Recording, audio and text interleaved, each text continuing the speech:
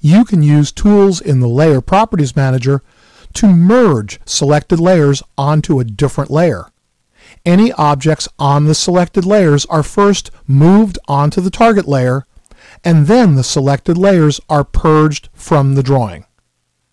For example, sometimes you may find that you've created several different layers on which you drew similar types of objects, and then you decide that you really don't need all of those other layers. You can merge the objects onto a selected layer and then delete the unneeded layers. Note, however, that you cannot select the current layer as one of the layers to be merged. In this drawing, a bookcase has been created on the casework layer, and the chairs arrayed around the table have been drawn on the chairs layer. But it would actually make more sense if these objects were all on the furniture layer.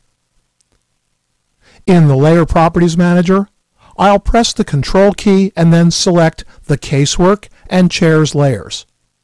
Then I'll right-click to display the shortcut menu and click Merge Selected Layers to.